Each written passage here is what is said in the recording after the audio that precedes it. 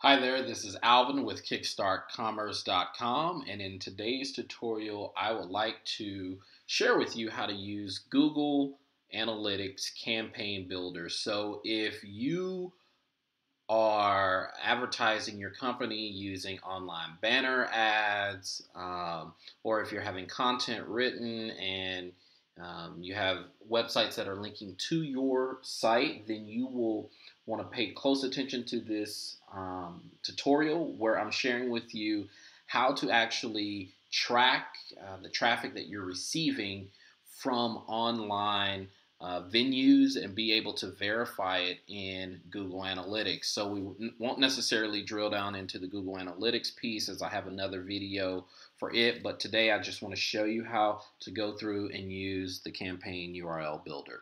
So that being said, I am going to use as an example the domains.com. It's a website and on this site, there are a few links. So let's say that your company was advertising in one of these spots here. Then uh, essentially what would happen is, as you can see, when I hover over the expireddomains.com, if you look down here in the lower right where you saw, um, where you see my arrow here down, I mean in the lower left where you see my arrow, if you watch there, when I hover over, you'll see that there's an expireddomains.com and it has a bunch of UTM source, UTM uh, media, UTM content, on and on and on, UTM campaign. And those parameters are so that when someone clicks from the domains.com and they click this expired domains ad, it'll send them to the expireddomains.com website and we'll go ahead and click it just to show you. Then up here, you can see it's tracking that the link or the source came from UTM underscore source equals thedomains.com. And so I want to show you how to be able to do that for your own site. So that being said, what you're going to want to do is go to ga-dev,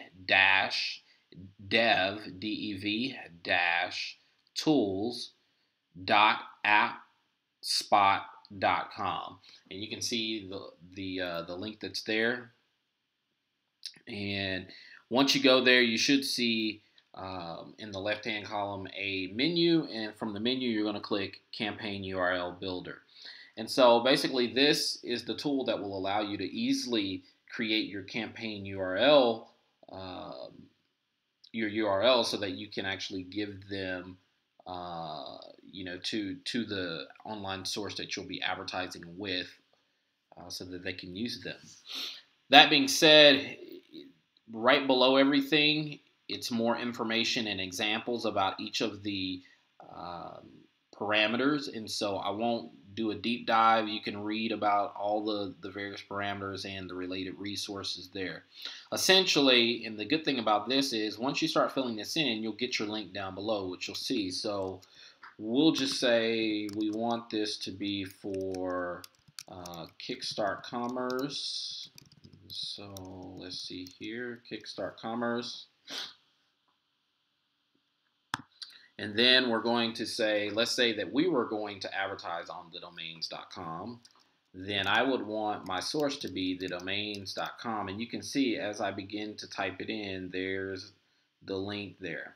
And so you can type in what what type of uh, advertising, ad banner, and then you can say, you know, whatever, you know, uh, you may say that our ad banner may be like a download of a PDF. And so you may choose to do something like uh, PDF, you know, download, um, geo, uh, let's see, geo service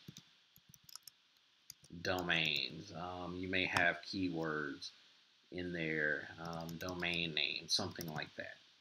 And so now you have your link, and essentially all you have to do is copy this link, and then when you send your ad, um, you know, to whatever website you're going to be advertising on, you can send them this link, and then you can know through your Google Analytics, which I'm not going to uh, jump into. I have another video that outlines it.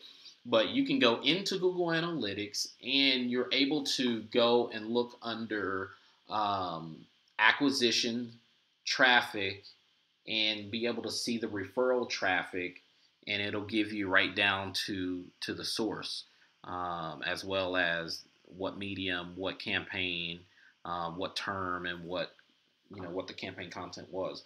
The medium, name, term, and, co- and content for the campaign are all optional data. So you know you could essentially get by with nothing more than just the source.